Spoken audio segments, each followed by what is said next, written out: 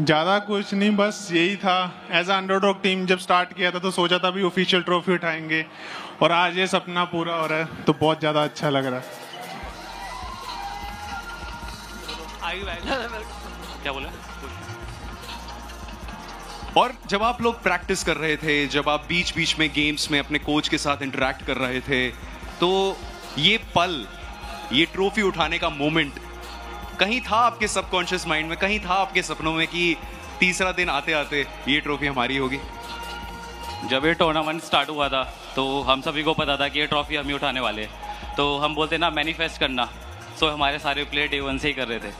And ये जो tournament था तो हमारे को डे वन से ही पता था हम जीत रहे हैं। कहीं ना कहीं जितनी भी टीम्स हमारे साथ खेल रही थी वो जितनी भी अच्छी हो बट हमने अपनी प्रिपरेशन अपना जो स्क्रैच से हमने काम स्टार्ट करा है, हमने अपने आप को इस तरीके से स्ट्रांग बनाया कि कम कर लेंगे और हमने आज ये निकाल दिया। So it's a proud movement and yes हमारा आईजीएल द बेस्ट आईजीएल और मैं बोलूँगा इंडिया का अभी करंट टाइम में द बेस्ट आईजीएल और ए के असॉल्टर मान्या अब वो बताएँगे आपको आगे। मान्या एक दिन पहले जब आपसे बात हो रही थी तो आपने बोला था कि ये जो कंपटीशन है वो अपने आप से ही है। अगर लड़ना है तो अपने आप से ही है, अगर जीतना है तो अपने आप से ही है। अब वो सारे जो बॉक्सेस हैं आपने टिक कर दिए तो अब भले ये टूर्नामेंट खत्म हो चुका है, लेकिन अब एक नई शुरुआत होने वाली है टीम ब्लाइंड की इसके साथ। उसके बारे में क्या कहना चाहेंगे आप?